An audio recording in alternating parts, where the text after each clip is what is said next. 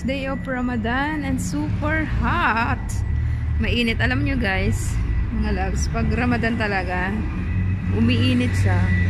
Alam mo yung mga fasting sila pero yung panahon ng Ramadan ay mainit. Mainit talaga sa, siguro sa lahat ng Middle East yan, mainit. So, yung mga tao o yung mga kapatid nating mga Muslim ay ano, di sila kumakain from if I'm not mistaken, di sila kumakain from uh, 3 a.m. to 6 to 7 to 8 ng hapon. Ayan, tag-isa tayo sa transport. At nandito na naman tayo sa taga-maneho na super, hindi mo alam kung taga-maneho talaga. So anyway, nasa bus na tayo. Papunta tayo ng trabaho.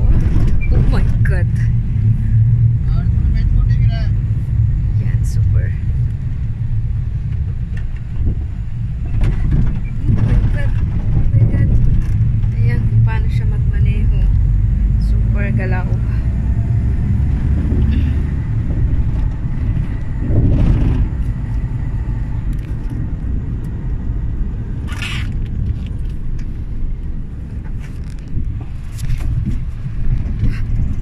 my God.